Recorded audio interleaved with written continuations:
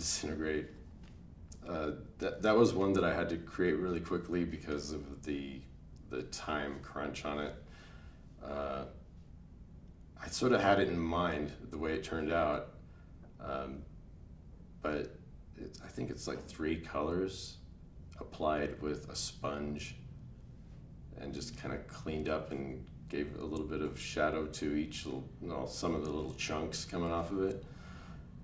It was supposed to be like somebody being hit by a nuke or something and just disappearing.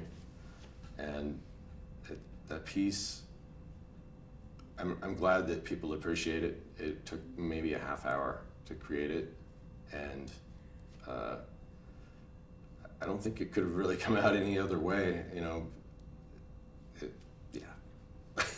I don't have much to say about it because it, uh, it, I didn't put a lot of work into it. I just depicted what I kind of saw.